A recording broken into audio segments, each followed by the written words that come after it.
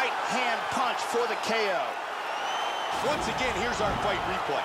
As we can see here in the replay, this is the huge overhand punch that shut the lights out. Let's take one more look at this overhand right on the money, and the fight is over as soon as it lands. Check out this angle here. And he's out.